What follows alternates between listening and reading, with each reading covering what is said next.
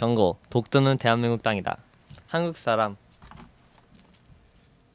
히히 나는 한국 사람이다. 너무너무 자랑스럽다. 많은 한국인들은 미국으로 유학을 가거나 이민을 가곤 한다.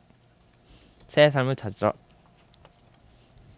미국에 처음 도착하면 아는 사람은 한 명 없고 말도 안 통하고 참 깝깝하다. 처음엔 다 그렇게 감옥 같은 학교를 다니기 시작한다. 학교 생활 처음엔 모든 게 새롭다.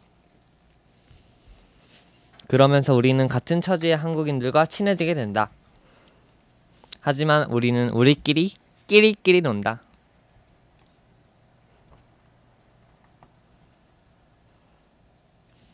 그러면서 우리는 서로를 헐뜯고 욕을 한다. 하지만 그게 우리고 이 사회가 그렇게 만드는데 우리 보러 어쩌라고.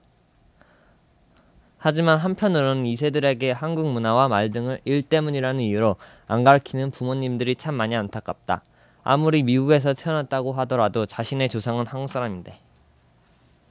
그리고 자신의 자칭 American이라고 부르는 우리들은 두 나라 미국과 한국에서 꺼림직한 존재가 될 수도 있다.